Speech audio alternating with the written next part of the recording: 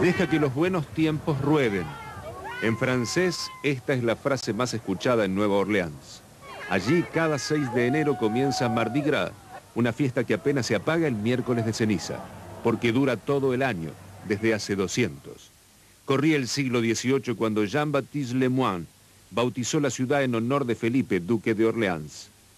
Todo el estado de Luisiana era de España y luego pasó a manos de Francia, cuyo emperador, Napoleón, lo vendió a Estados Unidos a dos centavos la hectárea. Nueva Orleans también creció con la influencia de los esclavos africanos y los indígenas americanos. Por eso en las calles se escucha jazz y el ritmo de las tablas de lavar y los sonidos del rito vudú. La ciudad más importante del mundo, construida dos metros y medio por debajo del nivel del mar, con el puerto más grande de los Estados Unidos, era la alegría de vivir, hasta que la naturaleza desató toda su furia.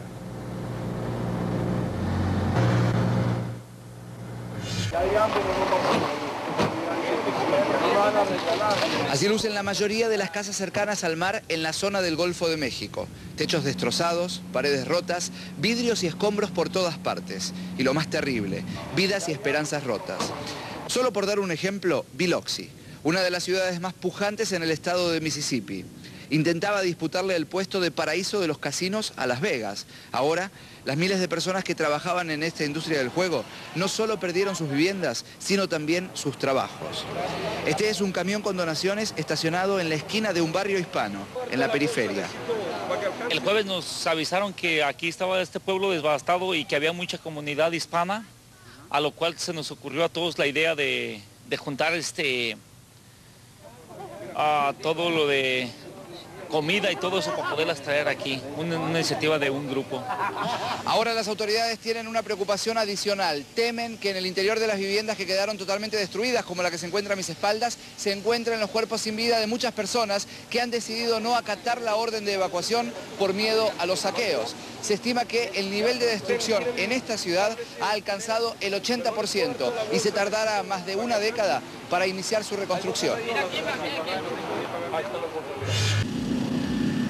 Hola Claudio, muy buenas tardes. Seguimos en Biloxi, una ciudad que está totalmente destruida.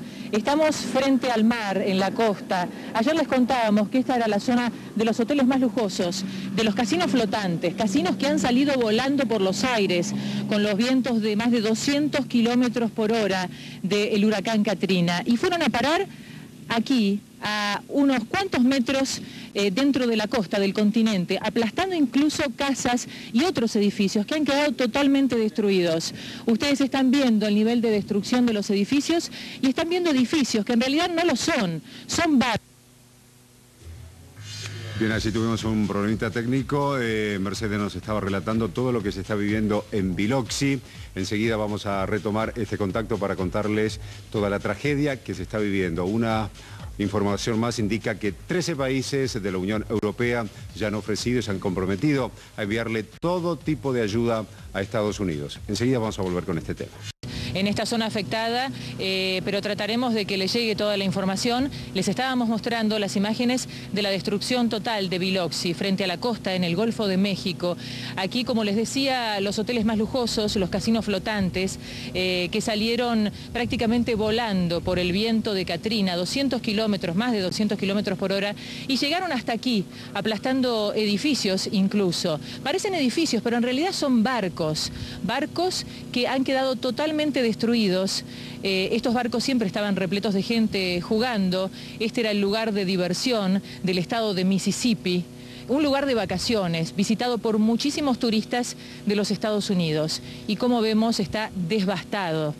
Pudimos ver en las últimas horas aquí en Biloxi mucha gente tratando de regresar a sus casas para ver lo que había quedado de ellas. Algunas no encontraron absolutamente nada, todo totalmente destruido, negocios, barrios enteros, automóviles volcados. Algunos dicen que irán a probar suerte a otros estados, a buscar trabajo a otro lado. Aquí ya no hay más trabajo, no hay luz, eh, no hay combustible prácticamente, es muy difícil conseguir eh, combustible para eh, trasladarse de una zona a otra. Sin embargo, hay muchas otras familias que van a persistir en su intento de reiniciar sus vidas eh, en Biloxi, en su hogar, en su ciudad de toda la vida, y están esperando que llegue la ayuda del gobierno de los Estados Unidos.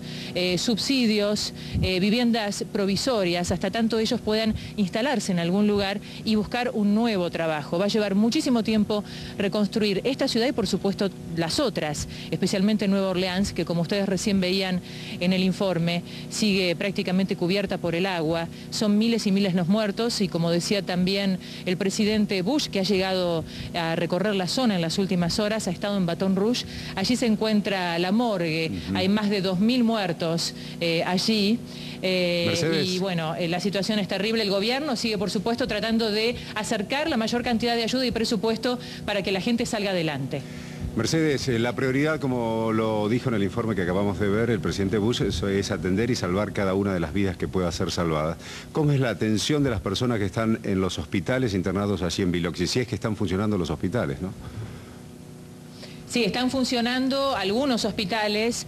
Eh, por supuesto, la mayoría de la gente ha sido trasladada a las ciudades más cercanas, como Lafayette, como Baton Rouge, como Mobile, que son otras ciudades a donde, por supuesto, están todos los evacuados y también están los heridos. Aquí los hoteles están totalmente cubiertos, eh, no hay ninguna cama libre para dormir, porque ha llegado personal del ejército, eh, ayuda humanitaria, socorristas, técnicos que están tratando de apuntalar las construcciones para que no se vengan abajo.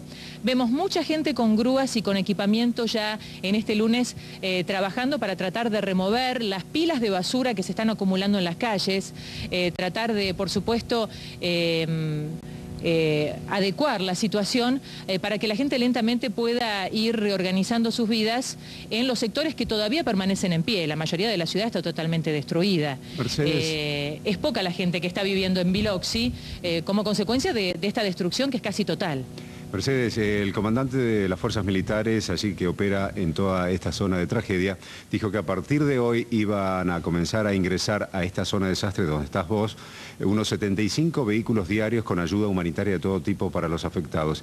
¿Se ha visto eh, a esos vehículos llegando a la ciudad de Biloxi o a los distritos allí sí, cercanos? Sí, porque en la ruta en la ruta nosotros mm, venimos hasta Biloxi manejando 200 kilómetros desde Baton Rouge y desde allí llega toda la ayuda humanitaria y veíamos caravanas y caravanas de ambulancias, camiones cargados de mercadería, eh, por supuesto tropas. Esto parece una ciudad este, totalmente militarizada. Hay policía, helicópteros, eh, ejército patrullando la región, por supuesto para asistir a las personas, pero también para controlar que no haya saqueos y violencia como se ha dado en Nueva Orleans, ¿no? donde la situación ha sido realmente caótica.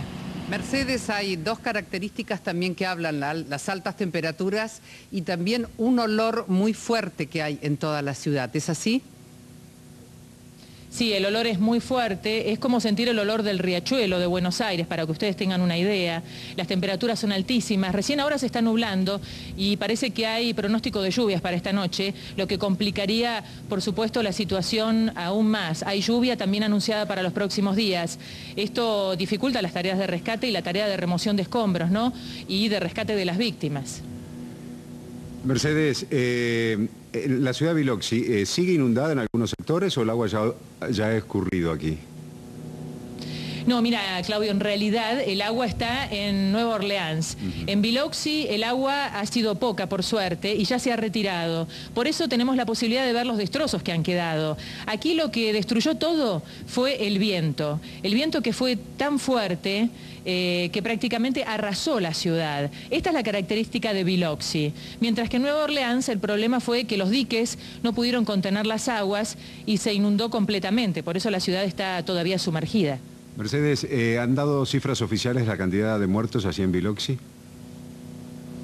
No, no, todavía no se puede hacer esa evaluación porque el fin de semana recién estaba hablando de 10.000 muertos, pero hasta que las aguas no se retiren completamente, no vayan drenando de Nueva Orleans, no van a poder rescatar, por supuesto, todos los cadáveres que todavía están sumergidos y que creen que podrían ser miles de personas todavía.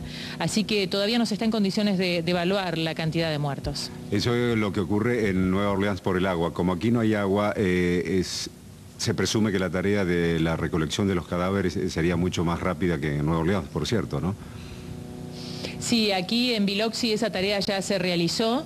Eh, la ciudad se está organizando mejor, se está controlando. Eh, como te decía, eh, uno ha podido tener acceso a Biloxi a pesar de la destrucción, teniendo cuidado, por supuesto, de no acercarse a las construcciones que están en peligro de caerse, porque han quedado en, condiciones muy precarias. Por eso están haciendo un trabajo de apuntalamiento y la policía está vigilando y controlando mucho para que la gente curiosa no se acerque y para que los periodistas tampoco nos metamos en zonas que pueden ser peligrosas para nosotros también.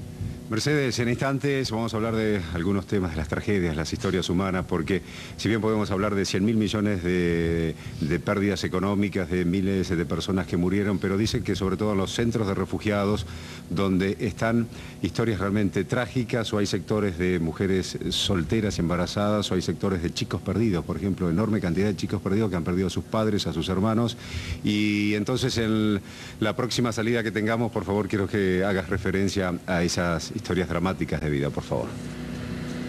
Cómo no, Claudio, enseguida estaremos otra vez con ustedes. Muchas gracias, ya volvemos. Eh, este lunes, el primer día de la semana en que la gente intenta recomenzar su vida.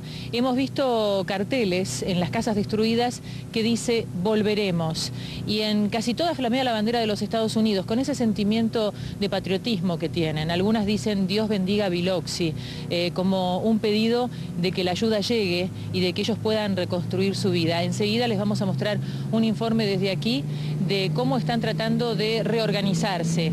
Lo primero que todo es conseguir combustible, que es una tarea muy difícil. Después esperar que vuelva el suministro de energía eléctrica. Eh, por supuesto, eh, mientras tanto se sigue adelante con la atención de los evacuados, que son miles y que han sido llevados a distintas ciudades de esta zona sur de los Estados Unidos afectada por Katrina, tanto Alabama, Luisiana, Mississippi, los estados que han sido golpeados en este que es el peor desastre natural de la historia de los Estados Unidos. Es cierto, eh, la temporada de huracanes está vigente. Hay organización en, este, en esta zona del país, eh, como en la península de la Florida. Pasan huracanes todos los años, pero nunca con esta fuerza, eh, que ha superado la previsión que había. Y por supuesto se ha visto todo desbordado. La ayuda humanitaria, la atención médica, los suministros de alimentos. por eso trabajan intensamente y el trabajo va a durar muchísimas semanas. Y esto no termina, por supuesto, pronto. Va a llevar muchísimo tiempo poder reencaminar la vida de la gente. Inclusive tenemos entendido que en algunos centros de evacuados están enviando maestros voluntarios para que puedan eh, dar clase a los chicos y que no se atrasen este, justamente con sus clases y que puedan de alguna manera hacer una vida lo más normal posible dentro de la normalidad que están viviendo. Hay centros de evacuados en, los cuales conviven cientos de familias, eh, pero la gente que los contiene, asistentes sociales, médicos, psicólogos, están tratando de eh, asistirlos para que esta situación tan traumática eh, no aumente con los días, porque cada día que pasa sin dormir en su casa, sin tener sus pertenencias, es por supuesto cada vez más difícil. Muchos de ellos lamentan, por ejemplo, haber perdido las fotografías de toda su historia, de su vida, el álbum familiar, como los recuerdos que ya nunca más van a poder volver a tener. Mercedes, siempre cuando pasan estas catástrofes existe una responsabilidad de los dirigentes. La gente está tranquila, está furiosa, expresa qué tipo de sentimientos en este momento. Eh, Tete, cada uno ante esta situación tan extrema reacciona como puede. Todos reaccionan de manera distinta. Hemos visto gente que todavía está llorando, hemos visto gente con crisis de nervios. Otros se los ve no felices, pero tranquilos eh, y tratando de mirar el futuro con optimismo, salir adelante, porque ya no pueden volver atrás. La tragedia ya ocurrió, el huracán ya pasó y podemos decir que ahora solamente se puede evaluar lo que el viento se llevó, como la película, pero nada más que eso. Eh, por supuesto, reclamar a las autoridades que hagan lo que no hicieron a tiempo, porque la ayuda llegó tarde, porque la organización se demoró. Internet, por ejemplo, está sirviendo como un elemento importante, por ejemplo, para que la gente pueda reencontrarse. Hay listados de la Cruz Roja en Internet porque lo que ha ocurrido también es el desencuentro de muchas familias, gente que llega a los lugares buscando a sus familiares sin saber si están internados en hospitales, si están en centros de evacuados